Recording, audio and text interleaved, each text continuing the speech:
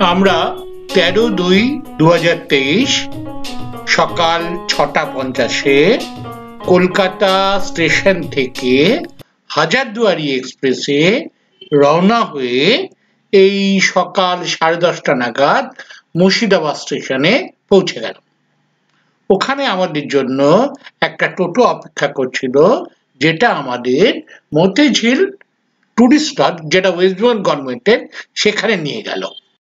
টোটো নিয়ে পৌঁছে গেলাম মতিঝিলে ওয়েস্ট বেঙ্গল গভর্নমেন্টের টুরিস্ট লজে। স্টেশন থেকে মতিঝিল টুরিস্ট লজে টোটোতে আসতে আমাদের ভাড়া পড়ল জনপ্রতি কুড়ি টাকা।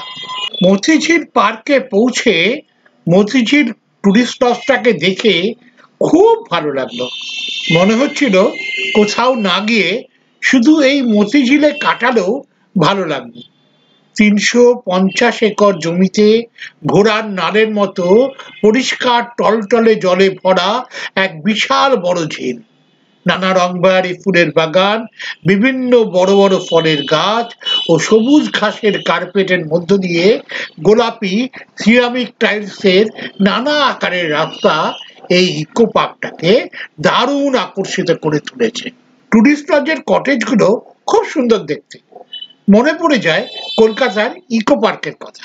ইতিহাস বলে তিনশো বছর আগে এইখানে এই ঝিল এবং তৎসংলগ্ন বাগান সিরাজের মাসি ঘসিনি বেগমের প্রতি নওয়াজেশ মোহাম্মদ নির্মাণ করান। পাশেই রয়েছে ওনাদের ভগ্নপ্রায় মসজিদ ও প্রাসাদ।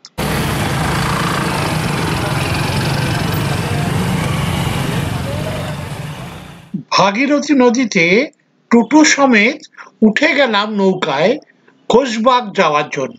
নৌকাতে মানুষের জন্য ভাড়া পাঁচ টাকা আর টোটোর জন্য পঁচিশ টাকা।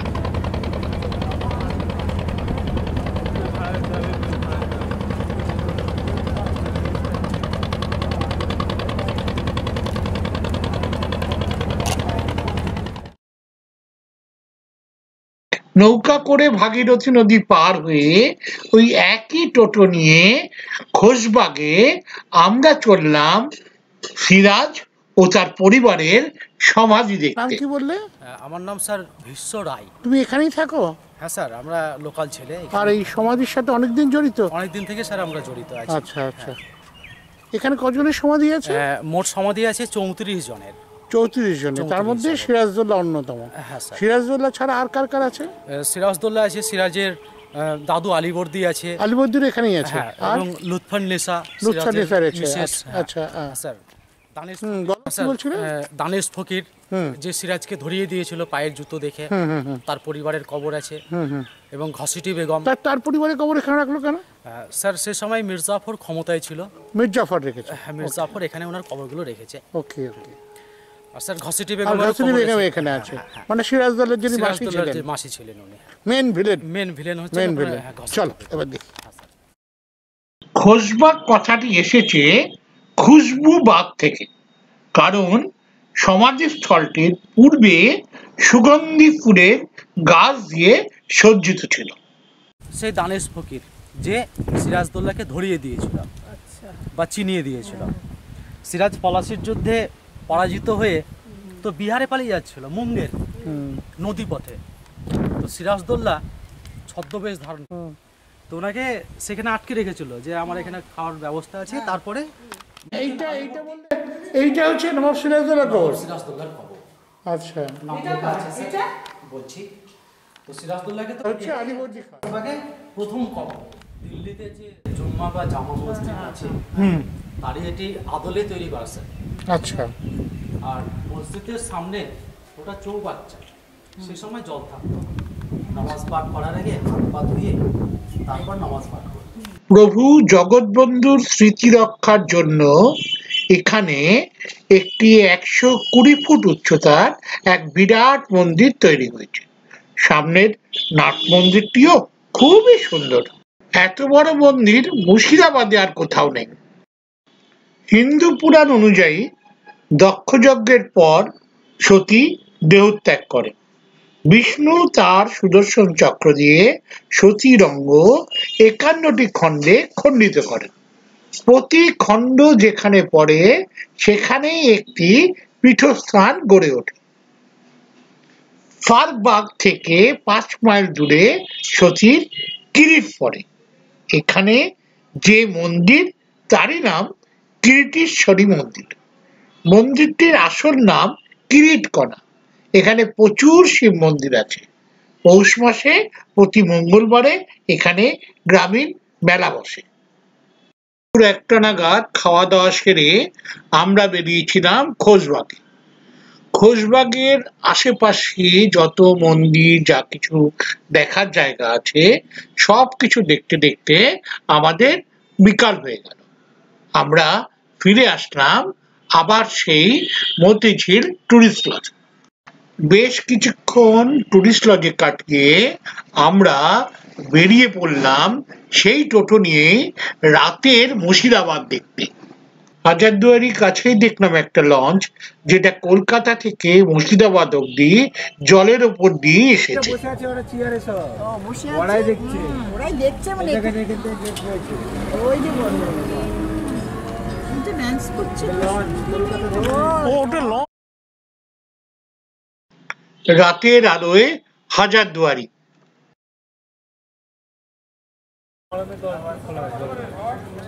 এটা হচ্ছে চাঁদনি এটা কি। চাঁদনি চাক মসজিদ পরের দিন সকাল নটা নাগাদ প্রাতঃক্রাস সেরে বেরিয়ে পড়লাম লালবাগ দর্শনে প্রথমে দেখলাম জাহান কোষা কামান আঠেরো ফুট দীর্ঘ ও চার ফুট পরিধি বিশিষ্ট নটি পিতলের ফলকখণ্ড সহিত দুশো বারো মন ওজনের এই কামানটি পর্যটকদের কাছে এখনও বিস্ময়। কামানটি ঢাকায় তৈরি করেছিলেন জনার্দন কর্মকার। জাহান কোষা মানে জগজ্জয়ী। এরপর এসে পৌঁছালাম সতেরোশো তেইশ সালে নবাব মুর্শিদ কুলি খান নির্মিত কাটরা মসজিদে। মসজিদ কাটরা হচ্ছে এটা আরবি ভাষা কাটরা মানে হচ্ছে বাজার। দুকোনা দুটো উঁচু উঁচু টাওয়ার দেখছেন, এগুলো বলা ওয়াচ টাওয়ার এখন যেমন মন্দির মসজিদে প্রার্থনা করে মাইকে বসতে আছে তিনশো বছরের মাইক সাউন্ড ছিল না এই জন্য এর উপরে উঠে টিনের চোখ দিয়ে আরবি আজান দিতেন। আজান দিলে কি আশেপাশে গ্রামের মশা শুনতে পেত? দ্বিতীয় কাজ বাইরেতে সত্তর আসে তাদেরকে ফলো করা হতো। ছোট ছোট নিচতলা ডোমদার ঘরগুলো দেখছেন, এই ঘরগুলো দেখুন চাউসারি, গোল করে সাজানো রয়েছে। দোতলা ঘরগুলো হচ্ছে মুসাফিরখানা। বাইরে থেকে মুসাফিররা নামাজ পড়তে আসলে তাদের উপর ঘরগুলোতে থাকার ব্যবস্থা এটা মাদ্রাসা ছিল। এই দেখুন এটি হচ্ছে মেন মসজিদ। দিল্লির জামা মসজিদের অনুকরণে করা হয়েছে। মুর্শিদ কুলিকা এটা প্রতিষ্ঠা করেছেন সতেরোশো তেইশে। এখন এই মসজিদটি তিনশো বছরের পুরনো। ওয়ালে গায়ে যে চার কোনো খোপগুলো দেখছেন?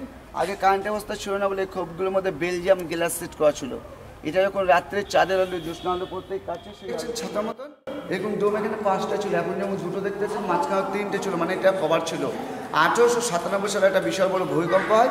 ওই ভূমিকম্পতে তিনটে ডোম দুটো ওয়াচটার কিছু মুসাফির ঘর নষ্ট হয়ে যায়। আর ভূমিকম্পটা এত জোরে ছিল বুঝতে পারছেন? নদীটি গেছে। হ্যাঁ তো সে বলি এই জন্য মসজিদের সামনে সাইড আর এখন আপনারা মুর্শিদ পুলিকার সমাধি উপরে দাঁড়িয়ে রয়েছেন। আপনাদের পায়ে নিচে পড়ে। এই মসজিদে এক সময় একসাথে দু হাজার ব্যক্তি প্রার্থনা করতে পারত। এটি একটি অসম্পূর্ণ মসজিদ। যার নাম ফৌতি মসজিদ। এরপর আমরা সে পৌঁছালাম আজিমুন্নেসার সমাধি। এখানে সিঁড়ির নিচে মসজিদ খুলিকার কন্যা আজিমুন্নিসার সমাধি রয়েছে। আগে এখানে বেগমের তৈরি একটা মসজিদ ছিল, যেটা ভূমিকম্পে সম্পূর্ণ ধ্বংস হয়ে যায়। মসজিদ।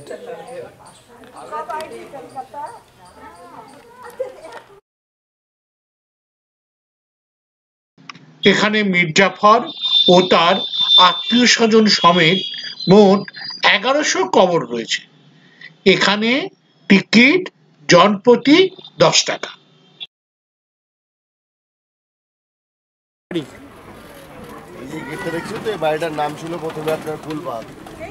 এটাই হচ্ছে মির্জাফরের বাড়ি, যার নাম ফুলবাগ। বাড়িতে বাংলার শেষ স্বাধীন নবাব সিরাজদৌল্লা যখন হয়ে যখন পালিয়ে গেছিল তখন যখন ধরা পড়েছিল ধরে এনে ফার্স্ট এই হাতে তুলে দেয় আর মির্জাপুরের ছেলের নাম ছিল আপনার মিরন। মিরনের নির্দেশে মোহাম্মদী বেগ সিরাজকে সাত দিন বন্দি রাখার পর এই বাড়িটায় হত্যা করে তারপর এসে পৌঁছালাম নসিপুর রাজবাড়ি। সেদিন মানে সেই সময় জোর জুলুম করে খাজনা কর ট্যাক্স আদায় করতেন। যে প্রজারা না দিতে পারতো নির্বাম অত্যাচার করতেন শাস্তি দিতেন।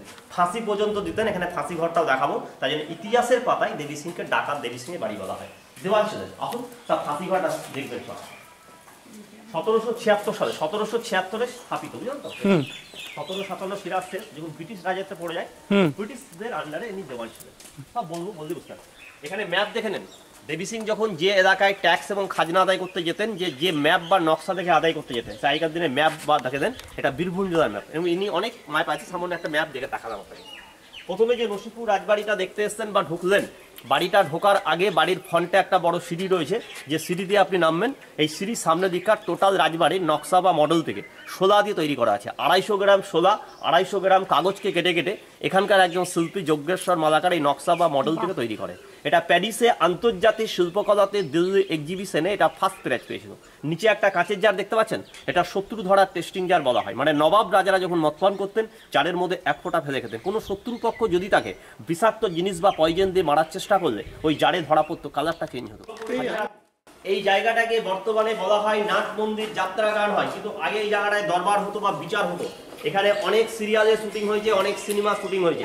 কিছুদিন আগে বেহুলা হলো প্রফুল্ল এক যে ছিল রাজা। তার মেন বিগ্রহ রামচন্দ্র এবং কালিমা দর্শন করবেন। আজও যেটা মানব করলে সফল হয়। এদের বটের বিরুদ্ধে যাওয়া যেত ক্যায়েতখানা আর এই যে ঘরটা ঢুকছেন এটা ফাঁসির ঘর বলা হয় ফাঁসি ঘর। বাবারে ঘর দেখবেন এমনি কিছু নাই ঘরটা রয়েছে।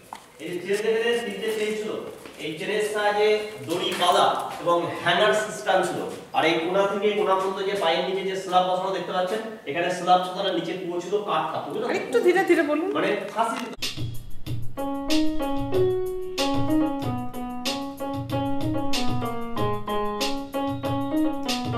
নসিপুর রাজবাড়ি থেকে বেরিয়ে আমরা পৌঁছালাম ইতিহাস খ্যাত ধনকুবের শেঠদের বাড়ি। এরা ছিল ওই সময়ের ব্যাংকার।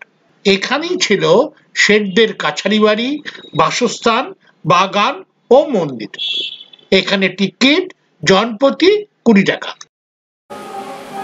আর এই জগৎ সেট ডাইনেস্টিটা এরা জেনারেশন ওয়াইজ ব্যবহার করতো। ব্যাটেল অফ পলাশির যিনি কনস্পিরেটার তার নাম হচ্ছে মেহতাব চাঁদ। পাশে নিয়ে নিল রাজবল্লভ। ইয়ার লতিফ উমি চাঁদ বেগম মির্জাফর ক্লাইভ এরা সকলে মিলে কি করল? ব্রিটিশদের সাপোর্ট করে পলাশি যুদ্ধে সিরাজদৌল্লাকে হারিয়ে দিল। তাই একে বিশ্বাসঘাতক বলা তো একটা ইয়ের মতো। জোড়া ভেতরটা।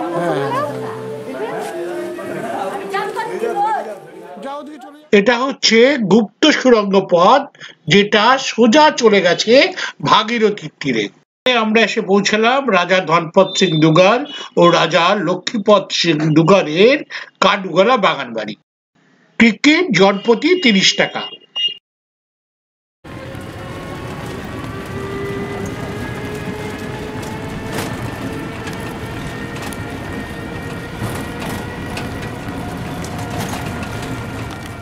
বর্গীদের হাত থেকে নিজেদের জিনিসপত্রকে সুরক্ষিত করতে এই কাঠগোলা বাগান বাড়িতেও এই গোপন সুড়ঙ্গ পথ বানানো হয়েছিল। কাঠগোলার বাগানের মধ্যে রয়েছে বাগান বাড়ির প্রতিষ্ঠাতা লক্ষ্মীপদ সিং দুগার ধনপত সিং দুগার, ছত্রপদ সিং দুগার আর মহিপদ সিং দুগারের বিশাল বিশালকার ঘোড়ায় চড়া মূর্তি। একটি বাউলিও আছে। বাউলিটিতে রাজস্থান সংস্কৃতির ছোঁয়া লক্ষ্য করা যায়। মার্বেলের নানা রকম মূর্তি, মাছের সমাধি আছে, জৈন সম্প্রদায়ের কাছে মাছ খুব পবিত্র, তাই মাছ মারা গেলে তাকে সমাধি দেওয়া হতো। রয়েছে লক্ষ্মীপদ সিংদের বাসস্থান দুগর পরিবারের ব্যবহৃত আসবাব, খাট, আয়না, মূর্তি, ডাইনিং টেবিল, তৈলচিত্র, মার্কারি গ্লোব, বিলিয়ার্ড বোর্ড সব এখানে আছে। রয়েছে একটা ছোট্ট লাইব্রেরি নাচ গানের আসর বসত এই জায়গাটিতে। কাঠগোলা বাগানের প্রধান আকর্ষণ এই জৈন মন্দিরটি। তোরণ পার করে মন্দির। তোরণটি সম্পূর্ণ মার্বেলের তৈরি। মন্দিরের ভিতরে শ্রী শ্রী আদিনাথজির মূর্তি রয়েছে। আর রয়েছে নানা জৈন তীর্থঙ্করদের মূর্তি। ছোট্ট একটা চিড়িয়াখানাও রয়েছে।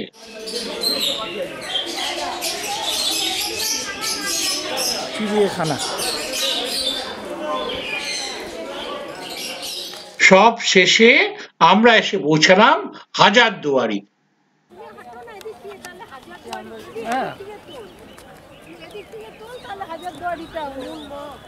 এটা হচ্ছে হাজারদুয়ারি বুঝতে পারছ তো? এটা সিরাজদৌল্লার পরে হয়েছিল। এটা কিন্তু সিরাজদৌল্লা তৈরি করেনি। এটা দেখো না স্টাইলগুলো দেখলেই বলছে ইউরোপিয়ান স্থাপত্য। বুঝলে? আর ওটা হচ্ছে ইমামবাড়া। ওটা হচ্ছে ইমামবাড়া। আর এইটা হচ্ছে ঘন্টাঘর যেটা লন্ডনে বিগ বেন আছে ওই বিগ বেনের মতোই ঘন্টাঘর আর এই পাশ দিয়ে ভাগীরথী ছিল তখন ওখান থেকে যাতে সময়গুলো দিক নির্ণয় করতে পারতো নাবিকরা তার জন্য এই ঘন্টাঘরটা বানানো হয়েছে। আচ্ছা আচ্ছা। হ্যাঁ? আর এই হচ্ছে হাজারদুয়ারি এখানে হাজারটা দরজা তো আছে। হাজারটা দরজা অ্যাকচুয়ালি নেই। তোমার নশোটা হচ্ছে অরিজিনাল দরজা আছে আর একশোটা হচ্ছে ফলস দরজা আছে। বুঝলে? চলো আমরা দেখি। প্রাসাদটির ভিতরের কারুকার্য অত্যন্ত সুন্দর। একতলায় রয়েছে অস্ত্রাগার, রেকর্ড ঘর ও অফিস ঘর। পলাশি যুদ্ধে ব্যবহৃত অনেক অস্ত্র রয়েছে এখানে। আর প্রাসাদটির দোতলায় রয়েছে বিভিন্ন আর্ট গ্যালারি এবং দর্শনীয় বস্তু। হাজারদুয়ারির বিপরীতে দেখা যাচ্ছে বাংলার বৃহত্তম ইমামবাড়া। পাশ দিয়ে বয়ে চলেছে ভাগীরথী। সামনেই দেখতে পাচ্ছি সিরাজের মদিনা আর বাচ্চেওয়ালি তোপ। কামানটি আঠেরো ফুট লম্বা আর ওজন ষোলো হাজার আটশো আশি পাউন্ড হাজারদুয়ারি প্রাসাদ প্রতি শুক্রবার বন্ধ থাকে। এখানকার টিকিটের মূল্য জনপ্রতি পঁচিশ টাকা। আর পনেরো বছর অবধি কোনো টিকিট লাগে না। আর এই ইমামবাড়াটি শুধু মহরমের সময় খোলা হয়, বাকি সব দিন এটি বন্ধ থাকে। আবার দেখা হবে পরের ভিডিওতে।